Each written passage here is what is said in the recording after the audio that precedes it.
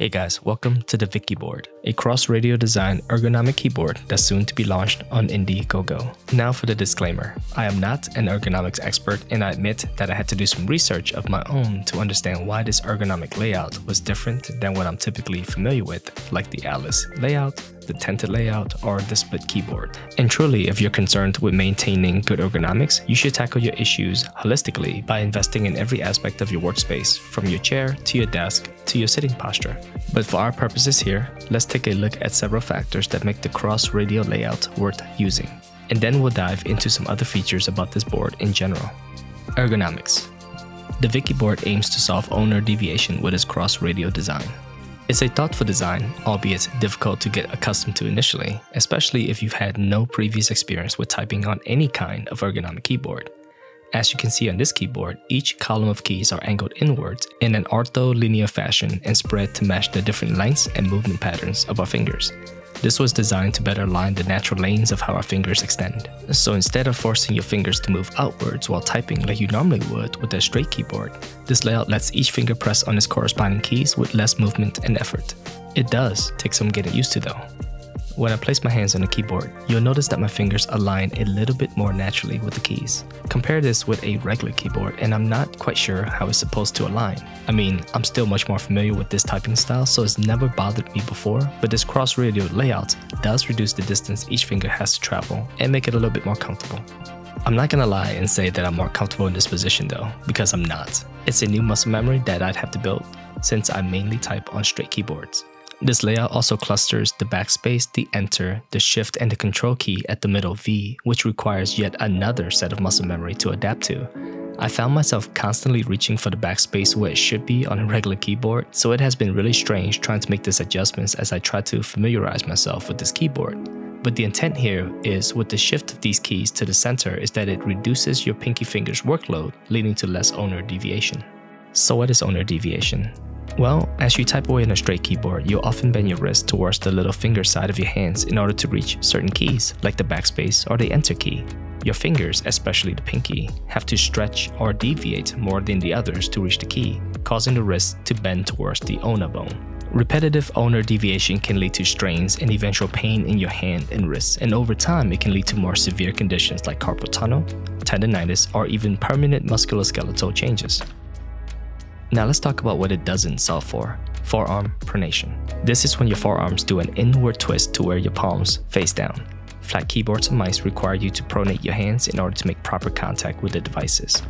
Constant pronation can place significant strain on the muscles and tendons of your forearm and wrist and can lead to similar issues as ulnar deviation, including pain, inflammation, nerve compression, and musculoskeletal disorders.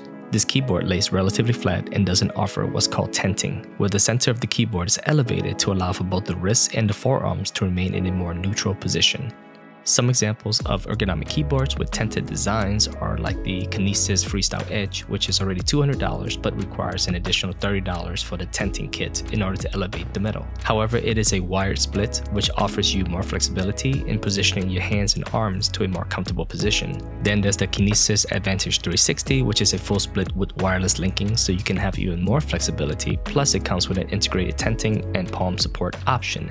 However, this one is going to break the bank for you. Then there are some other options like the ErgoDox EZ, the Moonlander, and the Glove 80. And lastly, if your forearms ache, and once again I stress I am not a physiologist or an ergo expert, but my recommendation is that you evaluate the way that you are typing. The most ergonomic typing position requires that your wrists float above the keyboard as you type. Most people are relatively lazy typers and tend to rest their wrists on the desk, which then angles their wrists upwards to type, which causes more strain. Wrist rests do help in this area, but if the keyboard height is still too high, practice floating your wrist while typing. Just pretend that the desk is lava.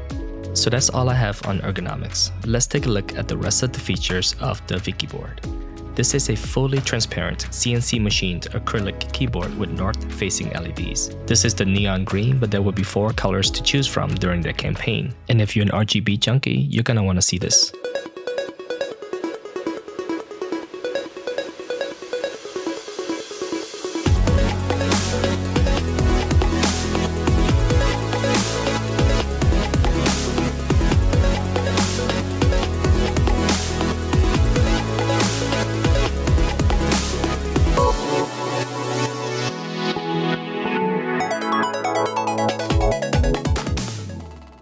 Their PBT keycaps are nice.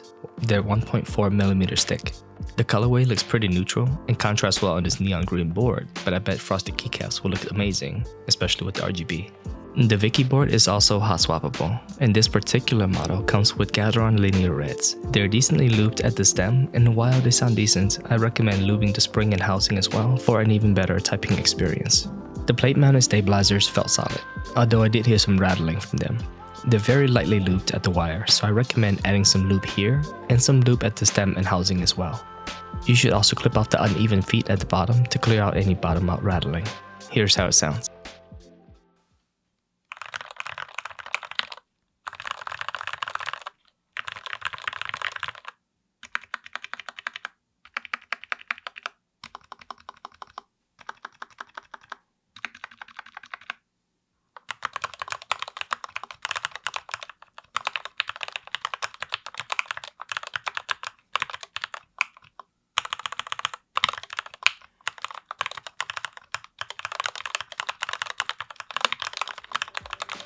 Some additional information about this board. It polls at 1000 Hz and has a battery capacity of 3000 mAh per hour, translating to roughly 3 weeks of runtime with RGB off or around 2 days with RGB on, depending on usage. The X Plus team will be launching their campaign on Indiegogo around October 25th. I'll have a link in the description below, so definitely check them out if this is something you're interested in. They sent me this board for my honest review and feedback, and to show off this board to you guys. Until next time. Don't forget to like and subscribe.